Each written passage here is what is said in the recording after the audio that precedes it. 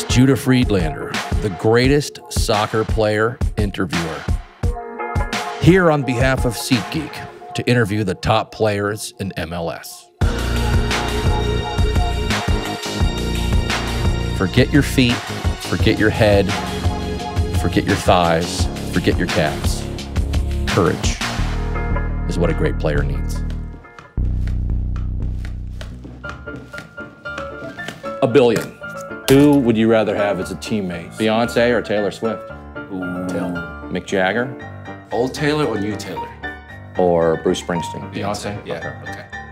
I was going to go with Metallica. Now I want to play a little game. You probably played this before. Mm-hmm. Yeah, on here. top. And then I, you're supposed to catch it. No, I actually saw you play in Jersey. Okay. Here, let me show you how it's done. Wait a second, where are you going? Yeah, good. How much does the MLS Cup weigh?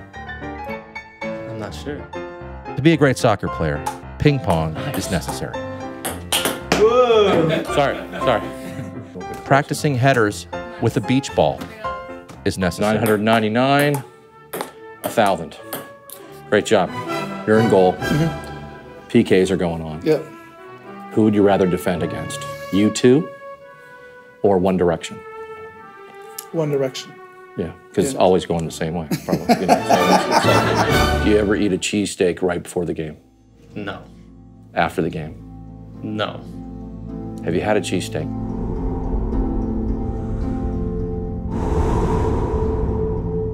Yeah. Be honest.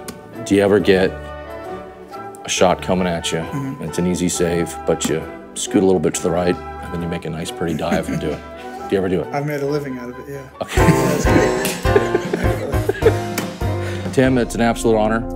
Gentlemen, Pleasure. it's great to meet you. It is an honor to meet you. Have a great, healthy, and productive season. You're a great American. Thanks so much, Tim. I mean, you're really living up to the professional interviewer title right now.